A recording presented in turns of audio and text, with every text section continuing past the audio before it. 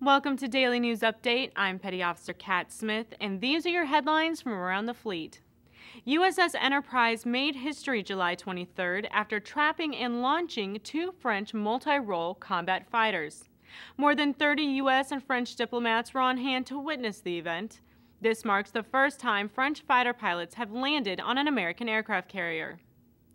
The remains of a sailor killed in action during Pearl Harbor were finally laid to rest in his hometown of Worthington, Indiana.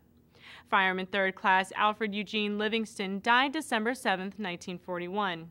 Originally placed in an unmarked grave, Livingston's body was exhumed and identified earlier this year. For the Naval Media Center, I'm Petty Officer Kat Smith.